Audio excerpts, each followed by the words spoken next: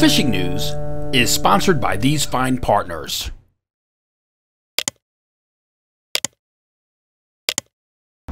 Well, we did it. Deployed another three satellite tags and three different striped bass for the Northeast Striped Bass Study with Gray Fishtag Research. This is the shot from uh, Dave Glassberg's Critter Catcher as Bill Doblier fights a tag candidate aboard Chuck Manny's Tie Man in the Shrewsbury River last Thursday. We had another high-tech tracking device deployed on Sunday aboard Chuck Manny's time, and That makes it three. That's a 48 inch striper for Bob Bowden. Three striped bass tags in the past week and some jumbo fish. So yeah, the tags are in play and we will be tracking these jumbo striped bass through the summer of 2022 in hopes that they're going to bring us some incredible travel information sometime in the fall. If you want to follow along with what we're doing with this Northeast Striped Bass study and the tags, the satellite tags, the green streamer tags, go pick up that May edition of the Fisherman Magazine. Look at the glossy article on page 48. We've got all the details that fish Uncle Fred in the May edition of the magazine, a very interesting candidate for sure.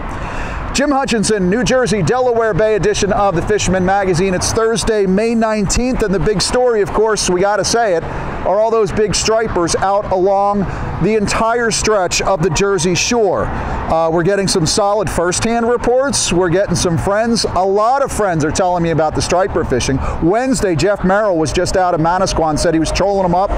So it's good to see that these fish are along the coast and not just the Raritan and Delaware as we've been talking about for so long right now. You can pick up the latest reports that we compiled this week. We post them every Monday over at thefisherman.com. But we do have a good stretch of weather finally warming up in my short sleeve sh shirt and my pasty pale arms. But it looks good uh, in the next couple of days and hopefully with this warmer weather, we'll see some more bunker busting striper action. We haven't seen much of it yet. A lot of those bunker have been off the beaches, but let's hope that we will see some, uh, some of that top water bite materializing in the next couple of days. Now I'm here this week on Herbertsville Road. I'm outside of Jersey Coast Shark Anglers tournament headquarters. We're right on Herbertsville Road in Brick. You recognize it, you recognize that old trailer, but this week, Friday night is the captain's meeting here at the headquarters for Bluefin Fever. That is the very first offshore tournament in this 2022 season uh, along the Jersey coast.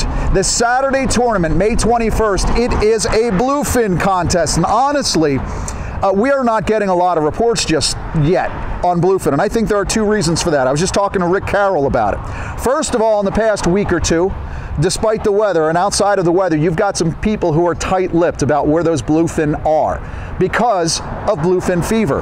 But the other thing, of course, we know gas prices are hampering the ability for a lot of guys to go out and say, I'm going to do some recon. I expect that all changes this week because after we have a fleet of 20, 30, maybe 40 or 50 boats in bluefin fever, I expect next week we're going to get some really ample reporting on what's going on in the bluefin tournaments or in the bluefin uh, grounds, mid-range, offshore. Let's see what happens. If you want to get involved in this Manasquan River tournament, the weigh-in is over at Captain Bill's. I told you that the captain's meeting is here on Friday. You can get all the information you need at jcsa.org. We'll follow along this season, let you know what the Jersey Coast Shark Anglers have scheduled. Not too far from where I'm standing right now, I guess within eight to 10 miles, I received word of the first near doormat fluke of the 2022 season. Now, doormat to me is I don't call anything a doormat until it hits 10 pounds. This one was close. Mark Stratmatter brought in this 30 and a quarter inch throw rug into Gabriel Tackle and Brick for weigh-in on Tuesday. That fish weighed in at nine pounds, seven ounces. That's a jumbo. That monster grabbed a bucktail and a Gabriel spearing in the upper, upper stretches of Barnegat Bay. I say upper, upper stretches. You can think that I'm talking south of the canal. On the north side, though, the Manasquan River is still getting some solid reports. Um, I received word from Joe Jacopo, who said all the reports for the Manasquan River late last week into the weekend were on the outgoing water. In fact, he snared a 22 incher in a slot at the top of the incoming. But again, it still seems that the warmer water at this point outgoing uh, is where your best bite is. As these ocean water temperatures cool off or warm up a little bit more, you'll have some better luck on the incoming. I also got an email from at Sullycasts, who was fishing with Lip Ripper Fishing 215. He's got a YouTube channel. They reported stripers on the Delaware to start the day last Thursday. Then they trailered after sunup down to Manasquan River, loaded up with some fluke. Uh, they were fishing again, the outgoing tide, gulp, and a half ounce eye strike jig head, and bucktails with live minnows also. And Sully said that they completed their Pensy Slam you're short a weak fish for the Grand Slam. He called it a Pensy Slam, getting those bluefish on the slack tide. Now, for folks looking for bluefish and not being able to find them, you're just not looking hard enough, or you're not in the right position, the right place at the right time. Again, more warming temperatures, I expect. We're going to see more of those blitz conditions any day. But I'll tell you, one person that found the right place at the right time, my man, Tyler Conrad, who brought in this 15.56 pound bluefish. He caught it on an SP minnow in the surf in LBI, weighed that in at Surf City Bait and Tackle for that store tournament. I don't think that he registered that in the LBI Spring Derby because that's continuing on uh, all the way through this month and into June. So you might want to check that out. Pushing south in our reports this week. Let's start from that stretch and go a little farther south continuing to get a good striper report, not just in LBI, but also in the Brigantine Atlantic City area as well. Andy at Riptide in Brigantine, he went so far as to say, quote, Brigantine is the number one spot on the east coast to fish right now. Huge stripers, black drum, and of course the bluefish. John R., he nailed this beautiful striper earlier this week on a Riptide rodder. I'm hearing the same thing on just on the other side.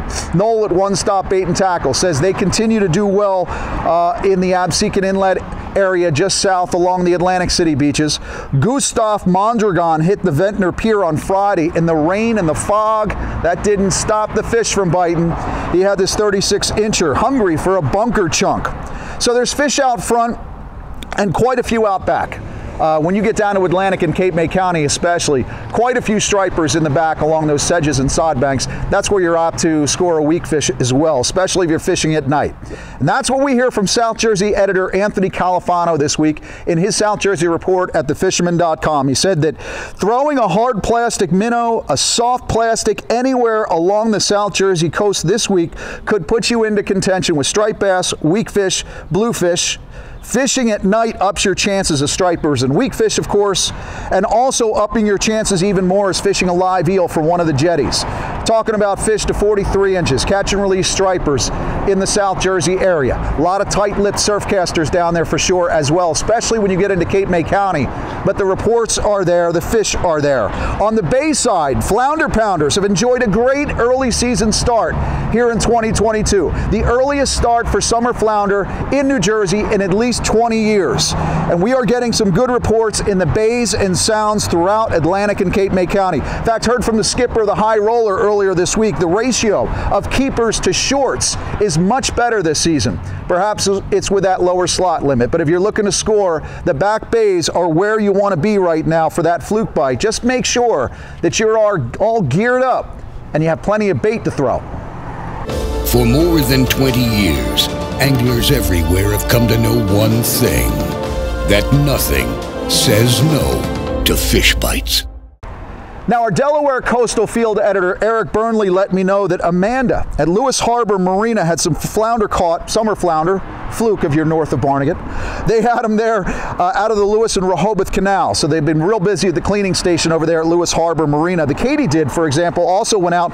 Uh, they still have that tog fishing uh, going on. Uh, they have uh, in Delaware, and of course, this week everybody's opening up for black sea bass. If you want to find some keeper tog, you might want to also try uh, along the Indian River Inlet rocks. I know some folks down there are fishing inside, uh, inside some of those bays and canals. David Lighthouse View Tackle said Cape Henlopen State Park, that fishing pier there has been decent for both summer flounder and bluefish. So th- those options are there. And of course, you've got some Delaware Bayshore, think Broadkill Beach, Woodland Beach, uh, fishing for, let's say, drum and striped bass. We are getting some reports along that stretch as well. If you're down in Delaware, don't forget the Joe Morris Memorial uh, Tournament is going on this week in Delaware. That's out of Lewes Harbor Marina, and I hope to see some uh, prize-winning summer flounder on the board in that great event in, in memory of Joe Morris. We'll report back to you next week when we find out who won that big contest. I did mention the black sea bass back in play in New Jersey and Delaware,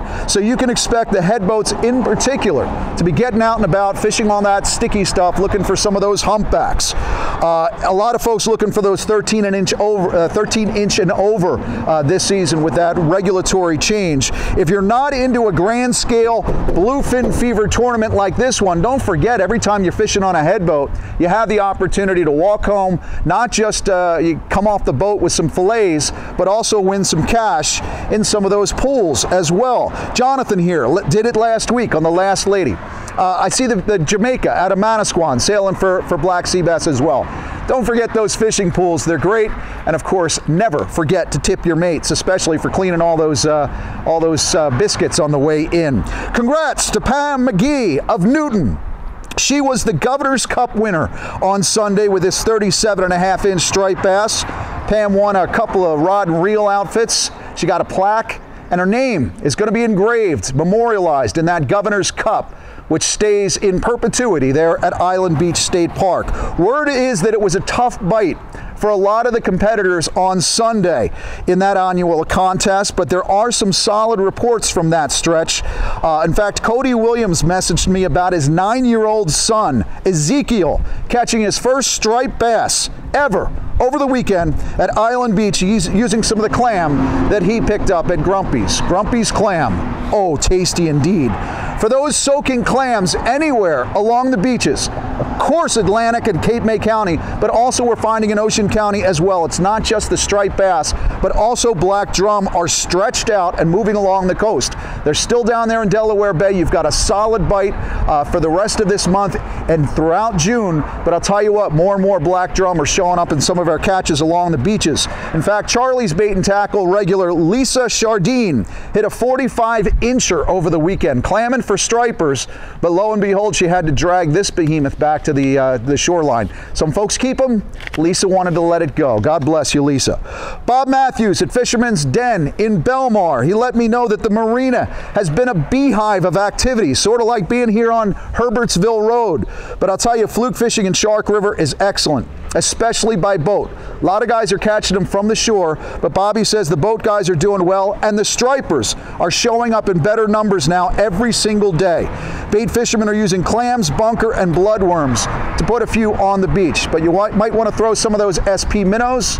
It's what got Tyler into that jumbo bluefish. He's plugging away, and of course those swing, uh, those um, swim shads, the tsunami swim shads, or perhaps the Kettle Creeks.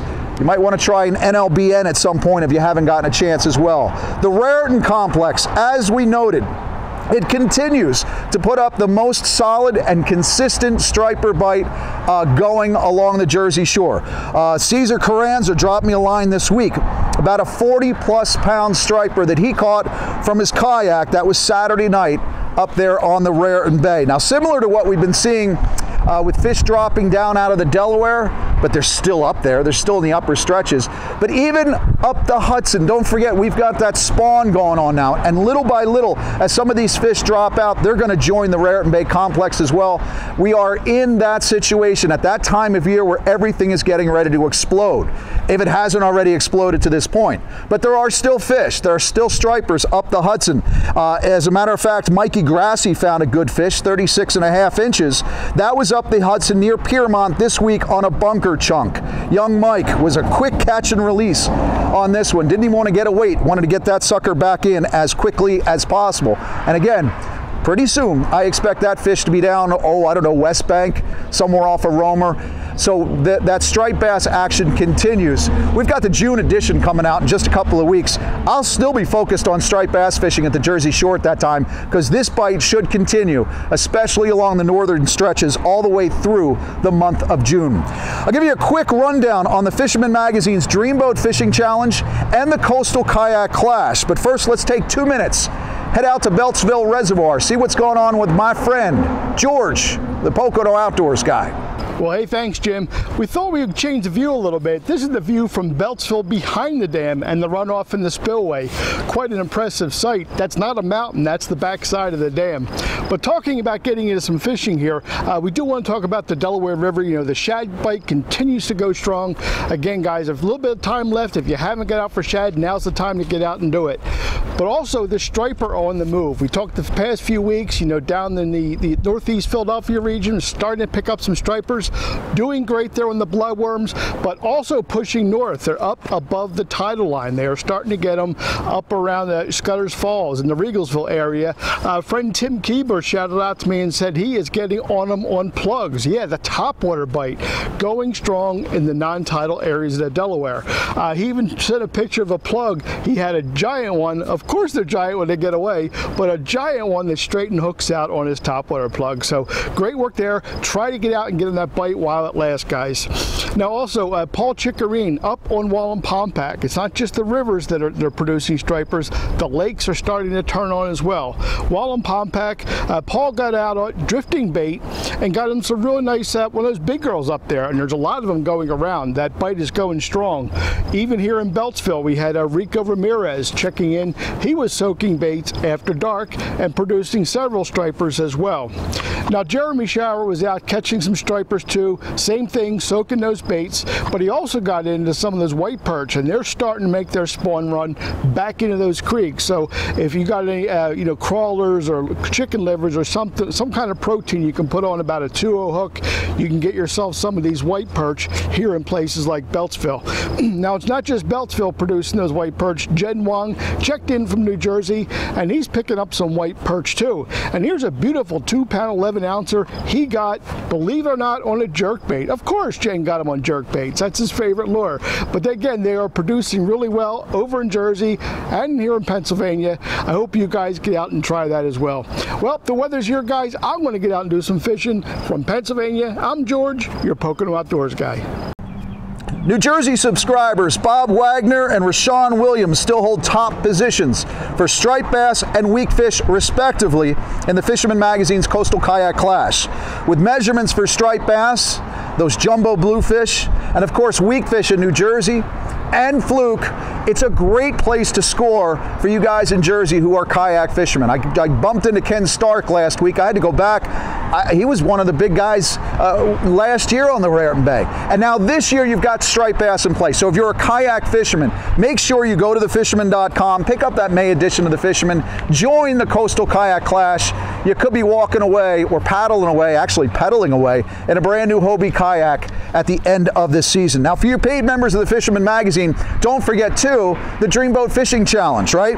The Dreamboat Fishing Challenge, where May's fish of the month is weak fish. At this point in the season, a lot of the weak fish sharpies do not say a word, but now is the time for those tide runners, and now is the time for fisherman subscribers to take advantage of weak fish being the fish of the month, and of course, you're fishing all season long for a shot at that 23 Steiger Miami at the end of the season. Second place ain't too shabby either. Marina Pez Vela Resort in Quepos. You could be fishing in Costa Rica. Subscribe, $29.95. Don't hesitate. Don't just sit back and watch our free reports. I'm glad you're here, but make sure you get the subscription. You get all 12 monthly issues delivered to your door, plus the 26 digital weeklies. And again, you get to compete in that Dreamboat Fishing Challenge.